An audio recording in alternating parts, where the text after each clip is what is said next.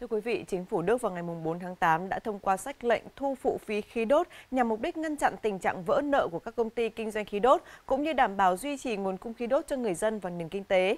Quy định này dự kiến sẽ có hiệu lực vào giữa tháng 8 và bắt đầu triển khai kể từ ngày 1 tháng 10 tới đây. Thời hạn hiệu lực của quy định này kéo dài cho tới ngày 1 tháng 4 năm 2024. Bộ trưởng Kinh tế Liên bang Đức Robert Habeck nhấn mạnh việc thu phụ phí khí đốt không phải là quyết định dễ dàng, song là cần thiết để đảm bảo nguồn cung năng lượng cho các hộ gia đình cũng như cho nền kinh tế lớn nhất châu Âu.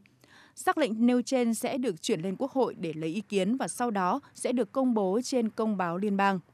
Với khoản phụ phí thu được, các công ty nhập khẩu khí đốt của Đức có thể bớt gánh nặng trong việc chuyển sang mua khí đốt từ các nguồn khác.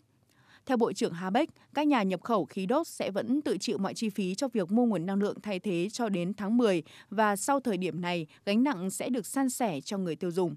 Theo đó, các nhà nhập khẩu vẫn phải chịu 10% chi phí trong khoảng thời gian áp thuế, đồng nghĩa khách hàng có thể phải chịu 90% chi phí phụ trội còn lại.